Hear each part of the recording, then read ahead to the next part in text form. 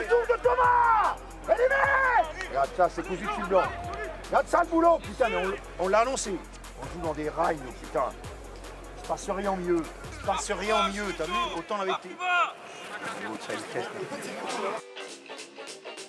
Maurice Goldman, c'est c'est un homme de foi, de cœur, et puis il est atypique, il sort de l'ordinaire, il fait rire, il est amuseur, euh, on s'ennuie jamais. Regarde ça le boulot Ah bien joué, j'ai pas vu, pardon, pardon. Il est en retard, Terence, il est en retard Putain Il est à part.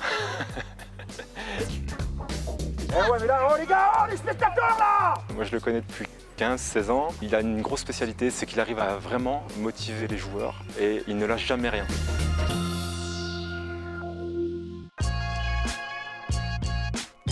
Moi, je connais pas un entraîneur euh, qui, qui lâche parce que si les joueurs ressentent que vous croyez plus en eux, euh, c'est foutu.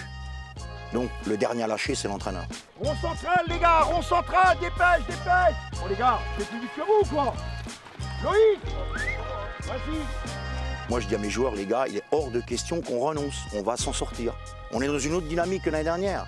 Mais je sais plus faire ça, je pense. On a toujours euh, sauvé notre peau, euh, souvent, au dernier match. Donc, on a intégré ça. Les joueurs ont ça dans leur ADN. Donc, on sait ce qu'il faut faire pour s'en sortir.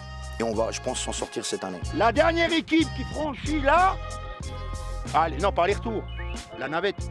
Là, tu fais le tour de ton piquet. Putain, les mecs, tu fais le tour de ce piquet-là Qu'est-ce que ça peut faire?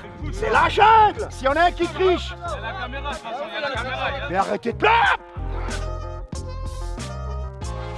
Nous, c'est comme ça. Euh, tous les trois ans, on monte. Et les deux ans où on monte pas, on galère, on sauve au dernier match. C'est jamais un long fleuve tranquille d'entraîner Belfort. Mais c'est ce qui fait le, charme du métier. On a des émotions quand même. Tous les week-ends, on est remis en question. Moi, j'aime bien. Vous perdez un match, ça change tout. hein. Vous en gagnez un aussi, c'est pareil. J'ai connu ça l'année dernière. Quand on était premier, euh, on me regardait euh, bizarrement. Ah, finalement, il n'est pas si mauvais que ça. Et finalement, Belfort est une belle équipe. Et quand on a failli descendre, les mêmes personnes baissaient la tête et tout. Donc moi, ça me plaît, ça. Dire du jour au lendemain, vous êtes remis en question.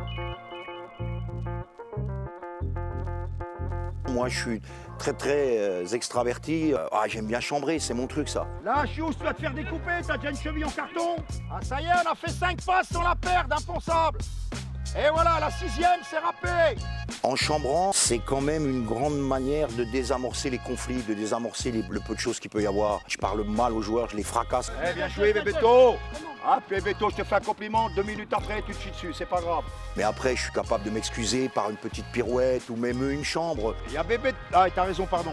Tellement surpris que tu défendes. Je pense que le climat dans lequel se font les entraînements est capital. Surtout en ce moment, on n'est pas très bon. Euh, si en plus les gars viennent à l'entraînement puis il y a un mauvais climat, on s'en sortira jamais.